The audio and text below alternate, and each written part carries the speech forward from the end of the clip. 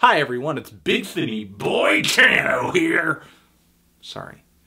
The internet's busiest music nerd, and it's time for a review of the new Rustie album, Green Language. This is the sophomore full-length LP of Glasgow electronic music producer Rustie. I first came across his music a handful of years ago through the album Glass Swords. It dropped via Warp Records. And I thought this record was just maybe a tad one-dimensional, but still easily one of the most bright, glistening, fun, bubbly, and good mood-inducing electronic music albums that I had heard in a while. Very punchy rhythms, tangy synth melodies, as well as very sunny synth timbres. Stylistically, there were fusions of UK bass, an experimental, wonky hip-hop production, a little bit of trap. It's nice to hear an artist who's so early on in their career sort of has a very distinct sound. So I was looking forward to this new Rustie record. However, even though it may not seem this way to other listeners, Rustie fans, I think this new Rustie album is an incredible disappointment.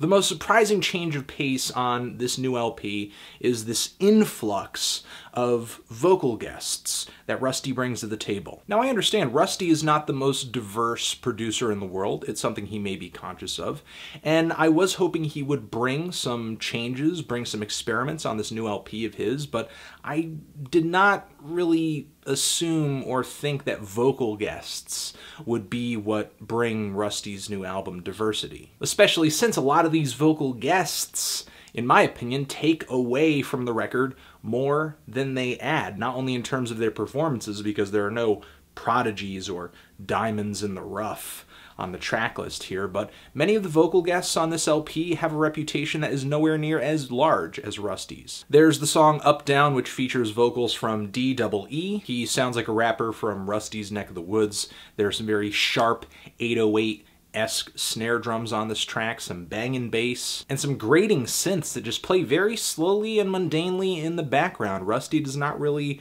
attempt to create some of the bright, sunny melodies that made his last full-length LP so good. And the lyrics from D-double-E, the vocal delivery, is just really obnoxious and kind of repetitive. Stylistically, I think this song is a little different for Rustie too. It's kind of like this weird electro trap fusion. It sounds more like Rustie is trying to get himself on the bill of the next big EDM festival versus crafting a legitimately interesting song. There's the song Danny Brown is featured on, Attak. It's a banging beat, but let's be honest here, lyrically and uh, flow-wise too, this is a pretty average verse for Danny. There's the song Lost with Redinho. I'm sorry.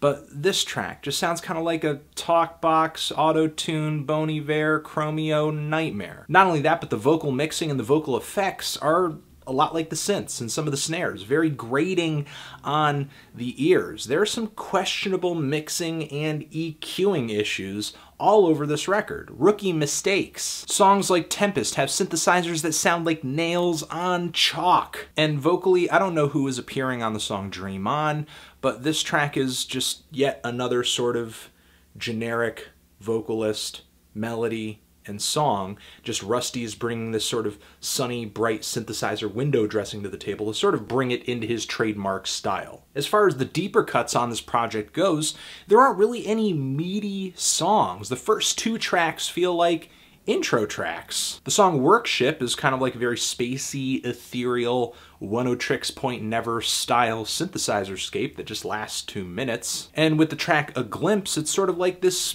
bubbling series of synthesizer sequences, which are very pretty, but doesn't really go anywhere. And then at the very end of the song, we're getting this pummeling rhythm, some downstroke guitars, but then the song just ends immediately. It's like it was going to go into this Anamanaguchi style instrumental, but it just stops. Because of how badly Rustie cuts off and structures some of these shorter more instrumental tracks, they just kind of feel like unfinished filler. It's like Rustie is providing a series of interludes in an album that's barely got momentum. Like, I don't need to take a break from the lack of good songs, I just need you to give me a good song. The song Raptor, another big single from this LP, it's not bad. It's got some EDM style rhythms, very driving, very heavy, some cycling, thick walls of synthesizer. It kind of sounds like Deadmau5 and Fuck Buttons rushing through a collaboration they were forced to do at gunpoint. Then the song Velcro, one of the few outright decent tracks on the entire LP. Really funky lead synth melody. I love the rhythms of this track. It's got a really sunny, upbeat feel. Stylistically, sonically, I think this song is the closest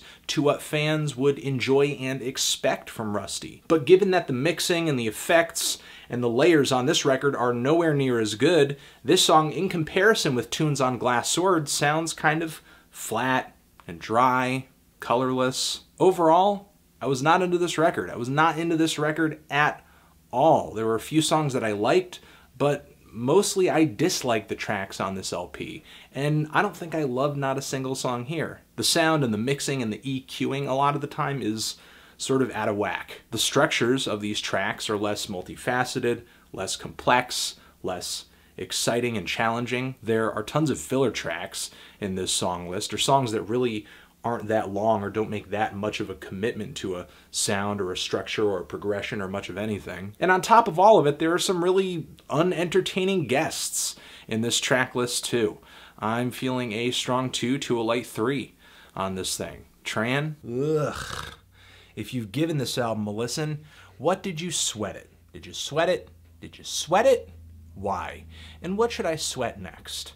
Anthony Fantano, Rustie, Green Language, Sweat, Sweat.